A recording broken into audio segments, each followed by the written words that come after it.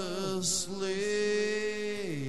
You do not know how it feels to love.